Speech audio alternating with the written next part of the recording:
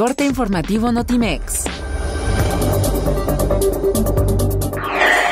El presidente Enrique Peña Nieto dijo que el formato del diálogo que sostuvo con jóvenes respecto de su cuarto informe de gobierno le permitió explicarles lo que se ha venido haciendo y el porqué de las reformas y la puesta en acción de las mismas.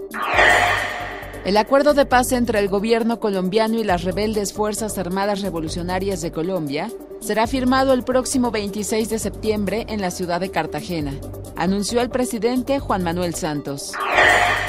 El nivel de inflación en las canastas alimentaria y no alimentaria han sido los menores en los últimos 10 años, aseguró el titular de la Secretaría de Desarrollo Social, José Antonio Mit Curibreña. El Cabildo local aprobó por unanimidad nombrar a Juan Gabriel como hijo predilecto de Ciudad Juárez en una sesión solemne programada para este propósito, luego del fallecimiento del cantautor y previo al homenaje de este sábado. El consorcio conformado por Coconal y constructora y pavimentadora Vice resultó ganador de la licitación de la pista 2 y aérea de túneles del nuevo Aeropuerto Internacional de la Ciudad de México.